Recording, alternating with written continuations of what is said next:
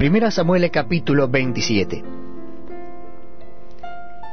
Dijo luego David en su corazón, Al fin seré muerto algún día por la mano de Saúl. Nada por tanto me será mejor que fugarme a la tierra de los filisteos, para que Saúl no se ocupe de mí, y no me ande buscando más por todo el territorio de Israel, y así escaparé de su mano. Se levantó pues David y con los seiscientos hombres que tenía consigo, se pasó a Aquís, hijo de Maoc, rey de Gad. Y moró David con Aquís en Gad, él y sus hombres, cada uno con su familia. David con sus dos mujeres, Ainoam, Jezraelita, y Abigail, la que fue mujer de Nabal, el de Carmel. Y vino a Saúl la nueva de que David había huido a Gad, y no lo buscó más.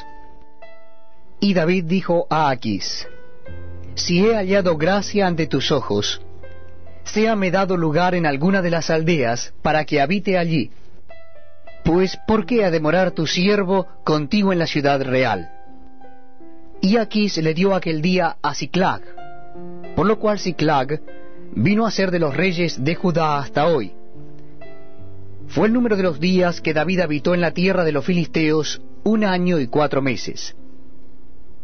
Y subía David con sus hombres, y hacían incursiones contra los jesuritas y los jezritas y los amalecitas, porque éstos habitaban de largo tiempo la tierra, desde como quien va a Sur hasta la tierra de Egipto. Y asolaba David el país, y no dejaba con vida hombre ni mujer, y se llevaba las ovejas, las vacas, los asnos, los camellos y las ropas, y regresaba a Aquis. Y decía Aquís, ¿Dónde habéis merodeado hoy? Y David decía, en el Negev de Judá. Y el Negev de Jezrameel, o el Negev de los Eneos. Ni hombre ni mujer dejaba David con vida para que viniese a Gad, diciendo, no sea que den aviso de nosotros y digan, esto hizo David.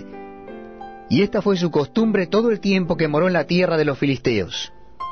Y Aquís creía a David y decía, Él se ha hecho abominable a su pueblo de Israel, y será siempre mi siervo.